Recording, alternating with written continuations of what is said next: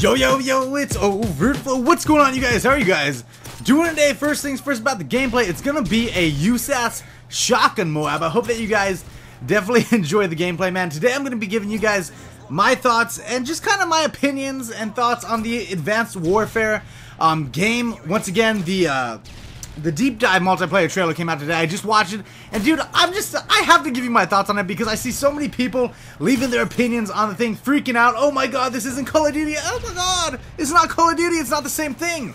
But I just gotta give you guys my opinions, and of course, in the comment section below, I want you guys to tell me your opinions on Advanced Warfare along with your opinions on the actual trailer.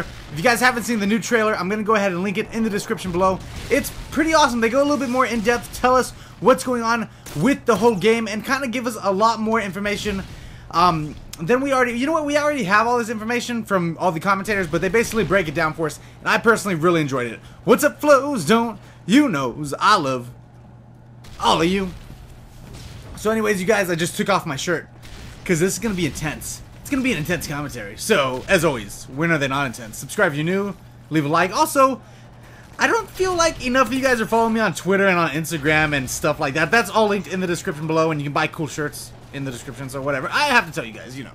So anyways, you guys, they kind of broke down some of the stuff, and I gotta be honest with you. So many people are complaining, hey, this isn't the Call of Duty that we all know and love. This isn't the same thing. We want a Call of Duty um, like Modern Warfare. We want a regular Call of Duty. We want this, blah, blah, blah. Nobody wants a futuristic thing.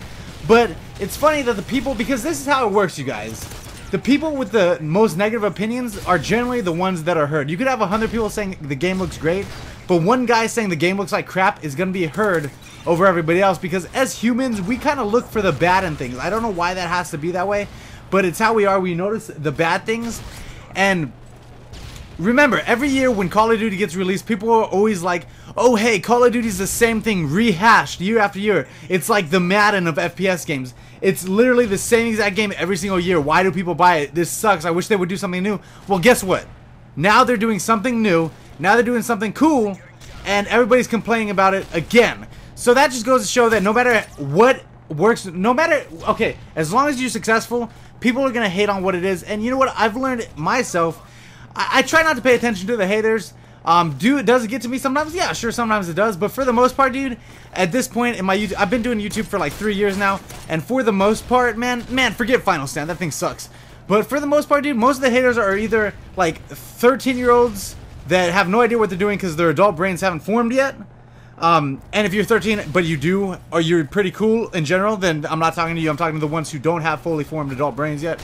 Um, or they're like 25 year old weird guys that like if you saw them in public you would like avoid them because they're kind of like weird. You know what i mean? Like the weird like loser guys? Yeah so i don't care about what any hater has to say. But basically if you're successful man people are gonna hate on you no matter what and that's where call of duty is at now. For me dude i'm stoked. I'm super pumped super excited for the next call of duty. Advanced warfare looks fun dude. It looks like simple mindless fun just like Call of Duty should be. I think Call of Duty should be simple and fun. You got a jetpack, you're going to be flying around.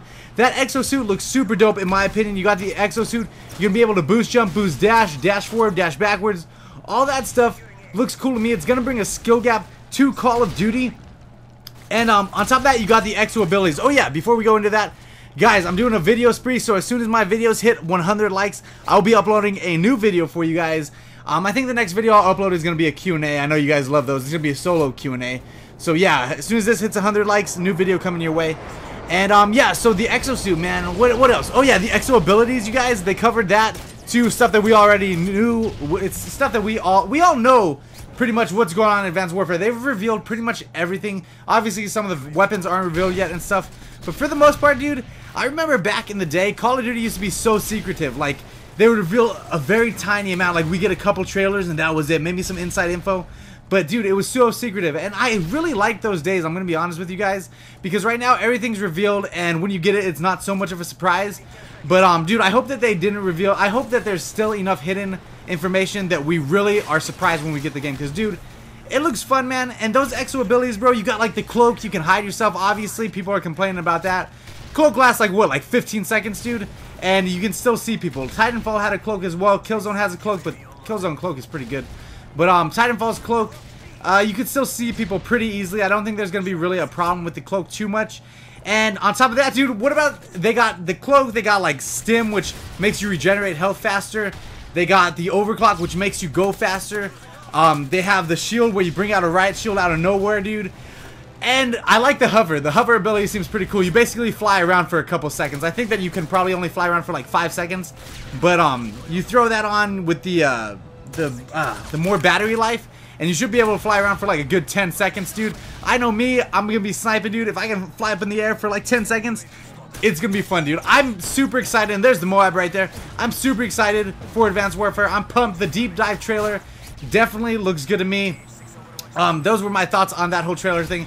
If you guys seen it, let me know. If you haven't, it will be linked below.